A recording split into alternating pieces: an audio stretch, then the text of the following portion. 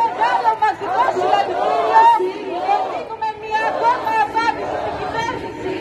Όπως κάναμε όλο το προηγούμενο διάστημα στις πύλες του ΕΚΠΑ, στις πύλες του Πολυτεχνείου, μέσα στα αμφιθέατρα, τα ψήματα μας και στις γενικές συνελέξεις, οι διοικητές και οι φοιτήτριες.